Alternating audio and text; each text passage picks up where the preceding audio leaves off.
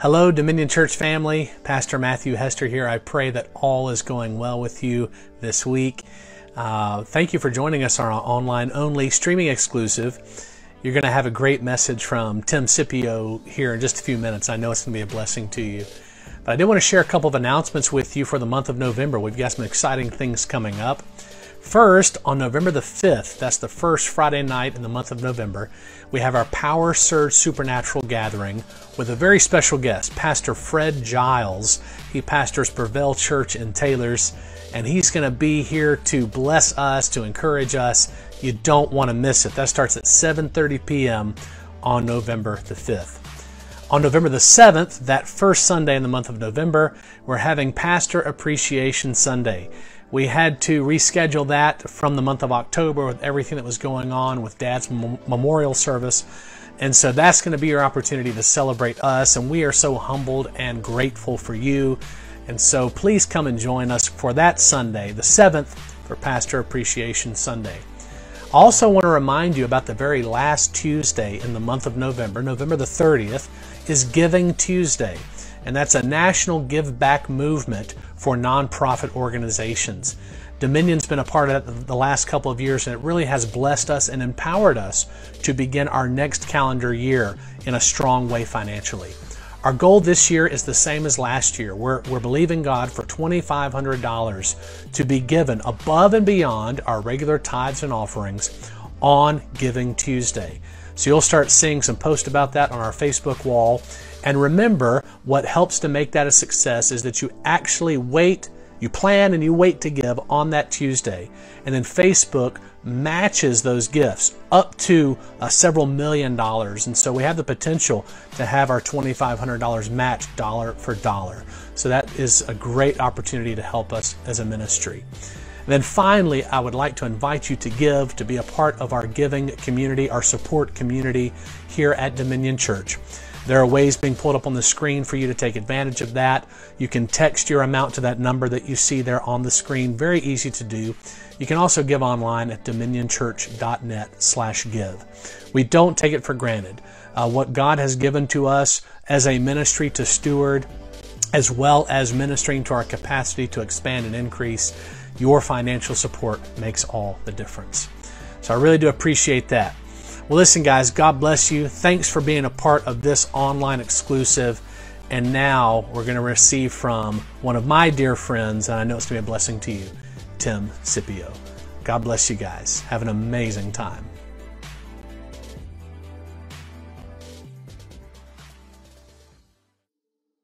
Good evening, my people in Facebook land and Dominion Church International, and all my family and friends, and all the friends of Dominion.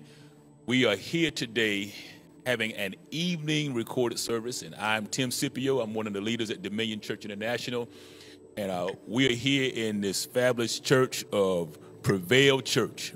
Uh, Pastor Fred Giles has given us the opportunity to be here and and uh, share tonight here at his uh, his his place, and uh, so we appreciate him and all of his family and, and friends allowing us to do this tonight.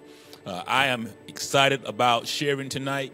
Uh, I feel like tonight is a, just a great time for us to kind of be together in this uh, season. We will be back together face to face the next, the following Sunday, and uh, looking forward to that. But tonight we are here in virtual world.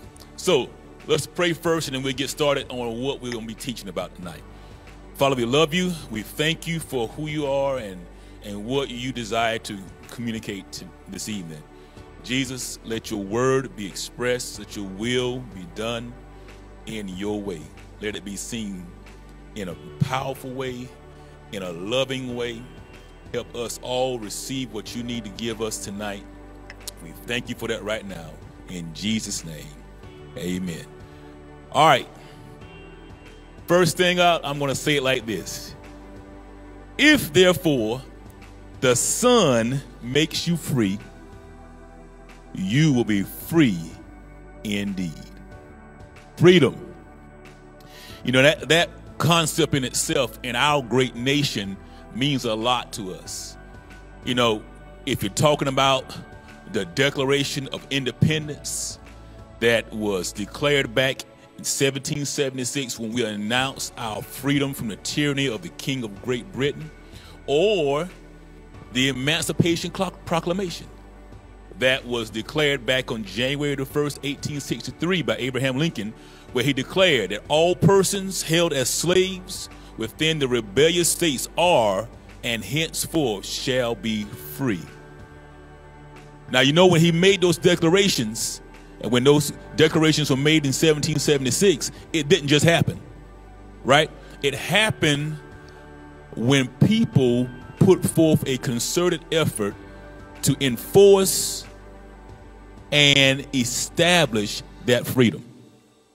So it shouldn't be a surprise when Jesus says, Therefore, who the Son makes free will be free indeed. That, hey, maybe the freedom he declared over our lives may also require some type of effort, maybe requires some type of established aggression to, to establish in our own personal lives.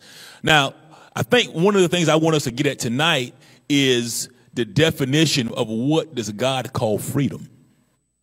What is freedom?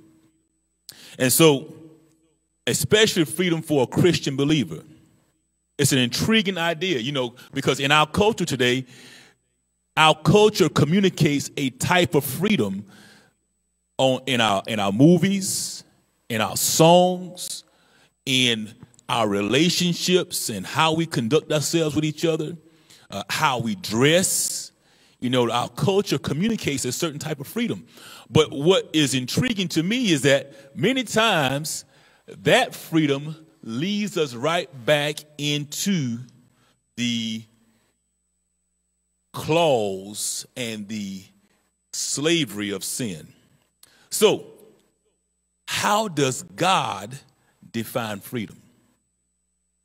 Does He give us the right to do whatever we want to do? Can we say whatever we want to say, regardless of how it hurts people? Can we treat people any way we want to because that's how we feel in the moment and how the other person feels doesn't really matter. Only how I feel is important. Or can we lie to our loved ones so we can just keep on doing the things we want to do without their knowledge? Now, I know I'm stepping on, on my toes and also probably on some other people's toes because there are things that we consider our right, the things that we want to do, the things we feel like we need to do, but it's not freedom from God's definition. But Tim, that is my right. Jesus made me free in deed, in action, man. I can do what I want to. Not quite. Not quite. Let me say this. When Jesus was talking to his disciples in John 8 and 36, he was declaring to his audience that anyone that actively practices sin is a slave to sin. So he was offering deliverance from the power of sin and its entrapping to slavery. And so, what I'm saying tonight is, I want us to look at how the power of sin has many times kept us bound and not free. And I want us all to look at our level of freedom and see how God wants us to be even more free. So, freedom defined according to God's definition.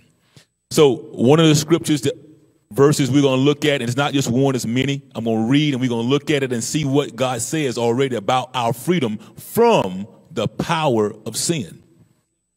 So, Romans chapter 6, and we're going to look at verses 10 through 18, says, For the death that he died, he died to sin. Now, this is from the Amplified Bible. He died to sin, ending its power and paying the sinner's debt once and for all. And the life that he lives, he lives to glorify God in unbroken fellowship with him. I love how that says, in unbroken fellowship.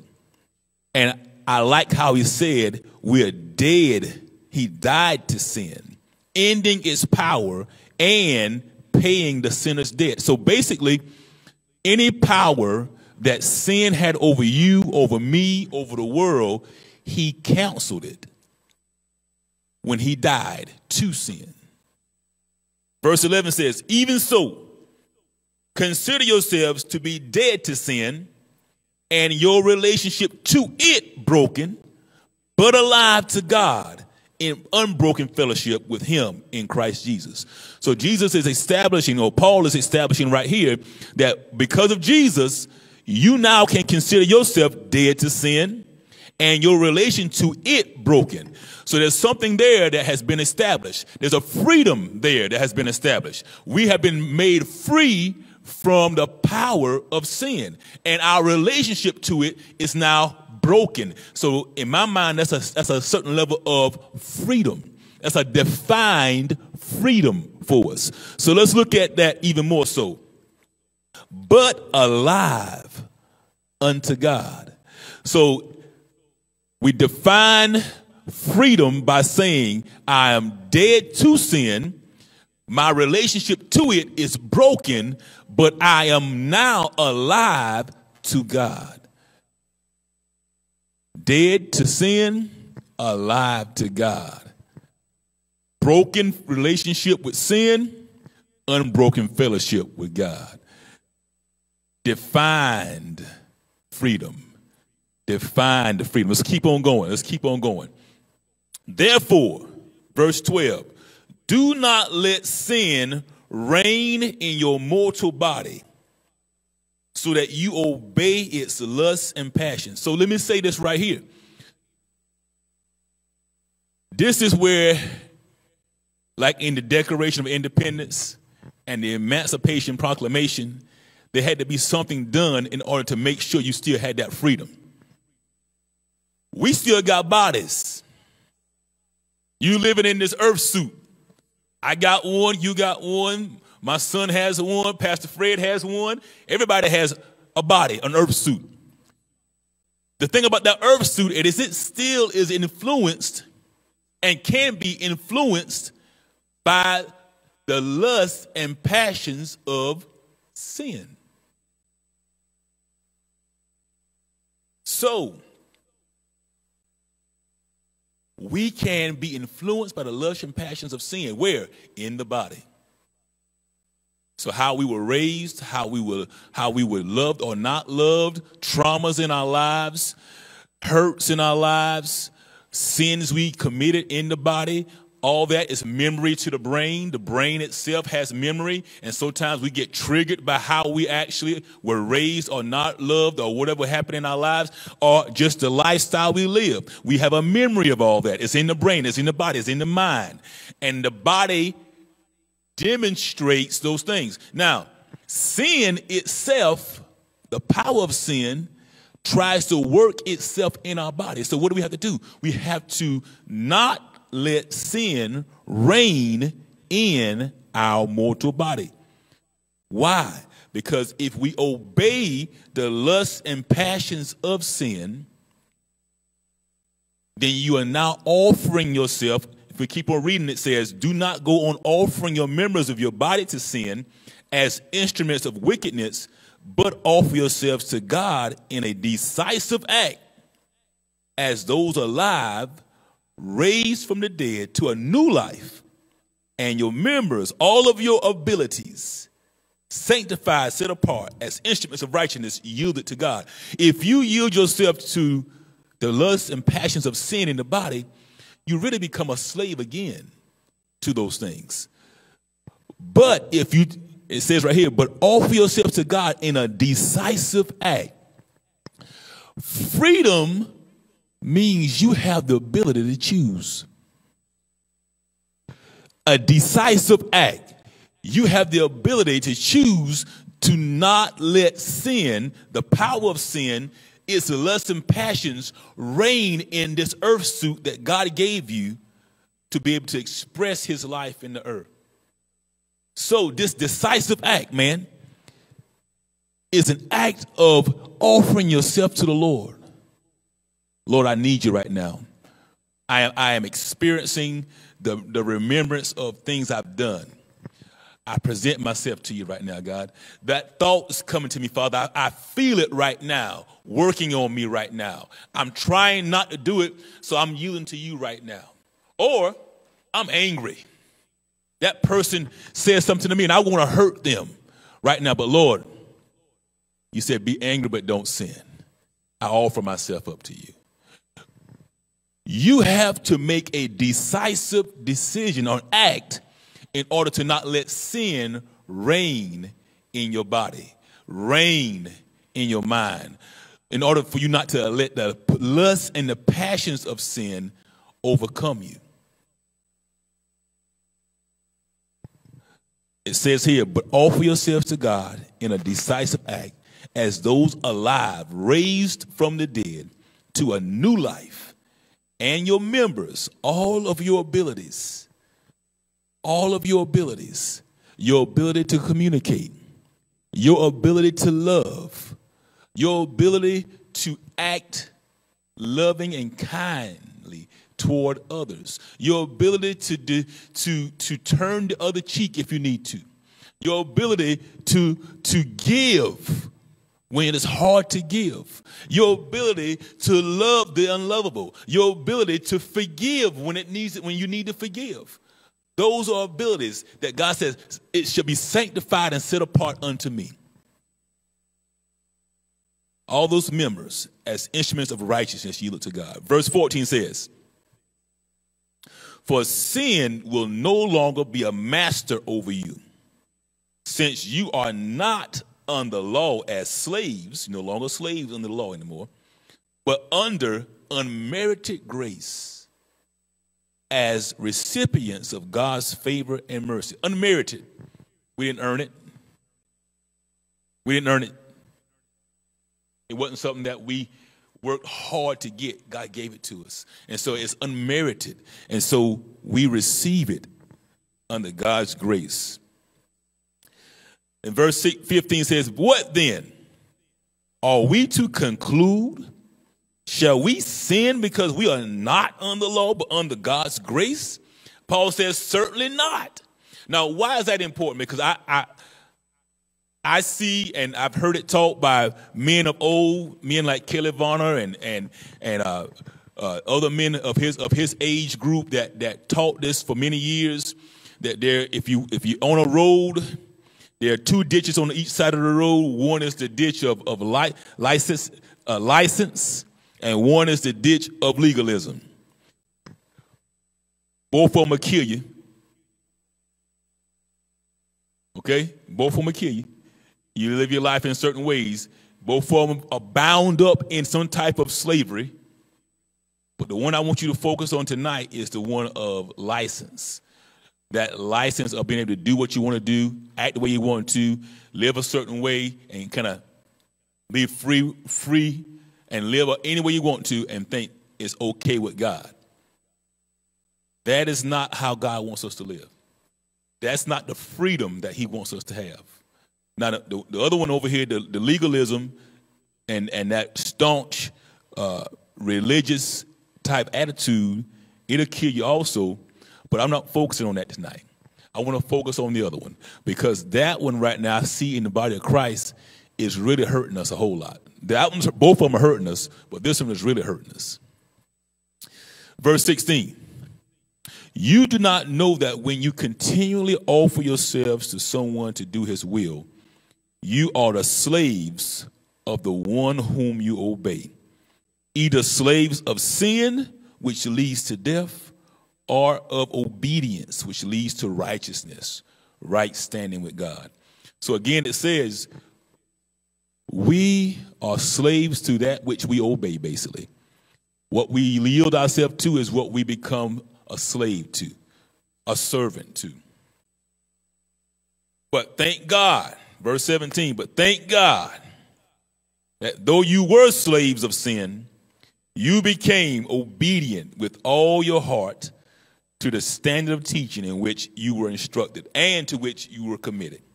18 says, And having been set free from sin, you have become the slaves of righteousness, of conformity to God's will and purpose. Now, I read all that because I felt like it needed to be read and us to hear it and to see it as you're reading your own Bibles.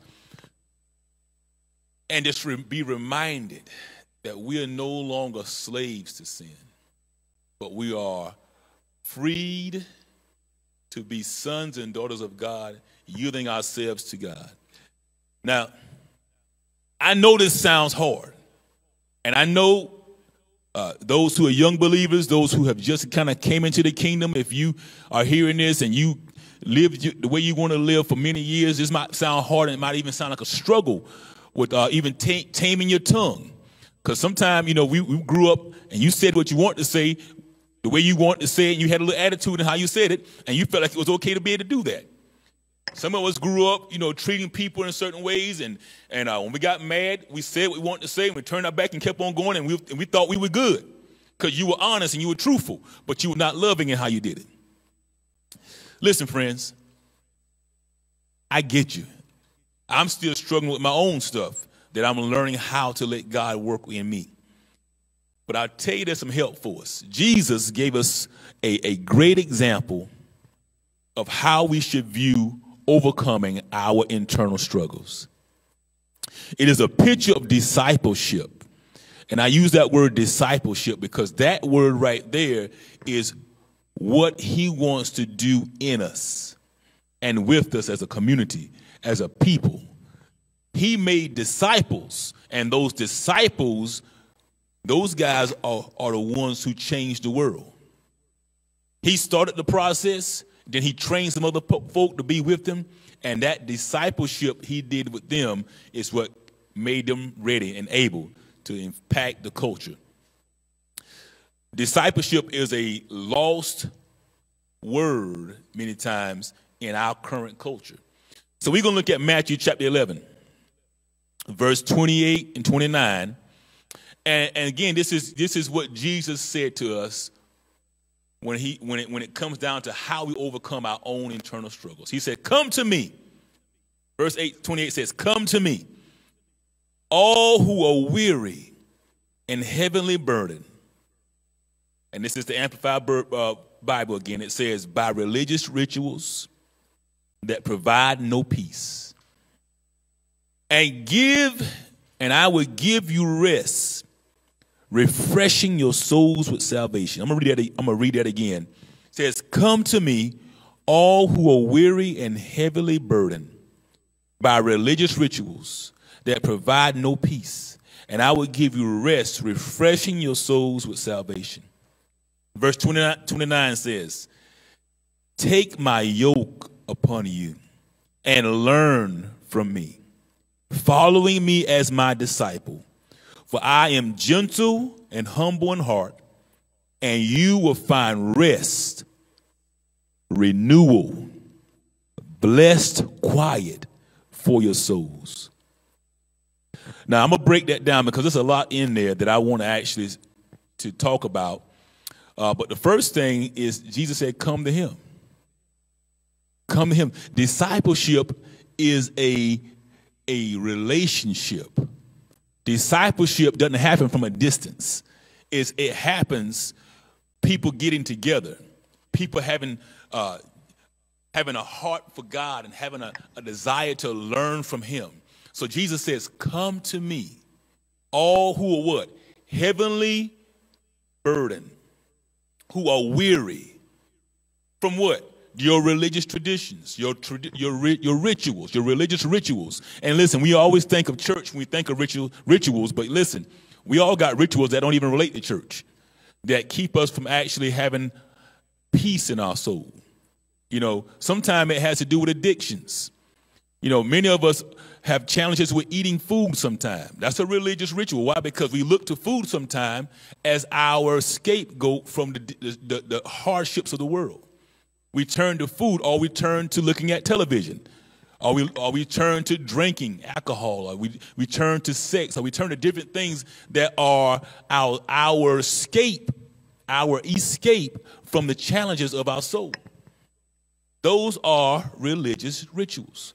He says, listen, if you're weary from those things, if you have a heavy burden from dealing with all those things, and they don't provide you peace, come to me, and I will give you rest, refreshing your souls with salvation. Then he says something else that may not sound like freedom, but I tell you, it is freedom. I'm gonna tell you why. It says, Take my yoke upon you and learn from me. Now, what is a yoke? You know, in our day and age, uh, not many of us have seen the, the, the, the, the demonstration of farming like it used to be done back in the day, where you had oxen that would plow your, your, your row and plow the ground and, and get up all the fallow uh, soil and make it actually look um, like it needs to be needs to look in order to plant uh, seeds and things of that nature. So I'm going to give you an example of what that looks like. Uh, Jonathan, come on up here, and uh, my son Jonathan's going to come help me out a little bit. And so we're going we to count it. This is my boy. So we so he and I are to act like two oxen. I'll be the big oxen, and he'll be the little ox. Okay. And usually in this kind of scenario, when they hitch a big ox to a little ox, they're trying to teach the little ox how to plow a, how to, how to plow a straight row. And so Jesus says right here, take my yoke upon you and learn from me.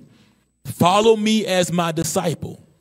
So if you look at this right here, so uh, uh, a yoke was a was a um, mostly wooden in, in that day type of device that was put that was put around the necks of the oxen. So I'm gonna use my arm as the yoke from Jonathan, and then you assume that there's a yoke on my neck also, and we're together. And so he and I will will be moving together over here plowing the road, and usually the big ox is kind of moving along and, and has the little ox moving.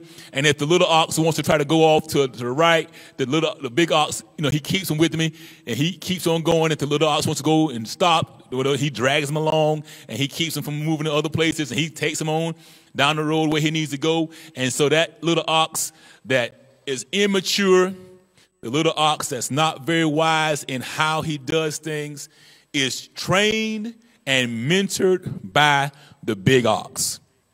He's learning, he's growing, he's maturing, he's taking on the same attitude of the, of the big ox.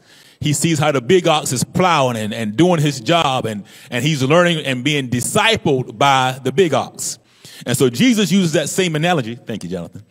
Jesus uses that same analogy when he's talking about us as believers. He says, Hey, Take my yoke upon you and learn from me. Why do we need to learn from Jesus? Because we need to unlearn many of the things that we thought was how life should be done. We need to unlearn many of the things that we thought were the way to go. The Bible talks about, you know, many of the thoughts of men you know, they think they, they have these thoughts about what which way they should go, but they all lead to destruction. So let's let's just look at that. And Jesus is saying, listen, there's some smart people out there. I mean, people go to school, they go to edu- they get a lot of good education. They go to colleges, they learn a lot of different things. Some people don't, they go to tr- get, get training in different ways, but there's a lot of smart people out there. He's even saying, even you smart folk, with all your degrees, and I got degrees too. You know, I, we can put them on the wall and show them, but, but that doesn't matter when it comes down to living life in true freedom. What matters is that we're learning from Him. And so Jesus says, Come on, yoke yourself, you who are heavily burdened, you who are weary. Come on, I want to give you rest. I want to refresh your soul and give you salvation from the tyranny of life, the tyranny of the power of sin. Come yoke yourself to me and let me show you how to plow your row of life. Let me show you how to plow your row and it, how it keeps you in the straight and narrow. And yes, you're going to want to move off to the side. Don't worry. You're yoked to me. So I'm going to keep you going the way you need to go. Oh yeah, you're going to want to stop and not do it. That's all right. I'm still moving. So you're going to move with me. You might drag your feet a little bit, but that's okay. I'm the big ox. You're the little ox. I'm going to keep you going. You might drag a little bit, but I'm going to keep you going and I'm loving on you. The whole time, the whole time, the, the, the big ox is focused. The big ox says, I know where I'm going. I have the destination. I see the, I see the bullseye. And the little ox don't have a clue. Even though we went to universities or we got schooling here, we don't really always have a clue as to how we should live our lives. And so Jesus says, come on. Hook yourself to me. Learn from me. And that's where your freedom is going to be. That's where the freedom that I want to give you is coming. And that's where the refreshing to your soul is coming. And he also said right here, he says, take your yoke upon me and learn from me. following me as, as my disciple, for I am gentle and humble in heart and you will find rest. Then he said, in my parentheses, it says renewal. Renewing of your mind will come when you yoke yourself to the Lord, when you submit yourself to discipleship. Renewing of your mind about how you should live. Renewing your mind from even traumatic experiences you may have experienced as a child or even later in life. Renewing of your mind about how you should relate to, to husband and wife relationships. Renewing of your mind of how you should raise your children. Renewing of your mind of how you should look at yourself. Sometimes you look at yourself the wrong way. Sometimes you look at yourself as not able to do things. God says, I will renew your mind as you yoke yourself to me and walk with me and learn of me. That will bring blessed quiet to your souls, peace to your soul, hope to your soul. So, what am I saying? What is the Lord saying? Your freedom will come when you submit every part of your life to His discipleship. True freedom, God's freedom, is formed in the crucible of discipleship. If you have not submitted yourself to discipleship, discipleship where you learn, you're learning from the Lord. And many times he sends people, pastors, teachers, evangelists, prophets, apostles, all these different ones as teachers to help disciple you. And you get together with your buddies and friends, small groups. Get with people who know more than you about God and learn and learn and learn. I will also say if you know you got some hurts and wounds in your heart, get the spiritual counsel you need. Go through things like Sozo and Immanuel, you know, Immanuel approach and, and also uh, HeartSync and all, all these different types of counselings that God has raised these, these leaders up to bring healing to your heart and then get the training to help others. You get the healing so you can heal others. You can help others heal. That's discipleship. We learn how to be healers. We reproduce reproducers that reproduce reproduces. Bishop you, Bill Hamon used to always say that when it came to training people in the prophetic. You reproduce reproducers that produce reproduces. You know, that's that's what God wants us to do. He wants us to be able to reproduce the life of Christ in our lives. Receive from him renewal and hope and blessed quiet. Don't limit him in how he wants to bless you and train you.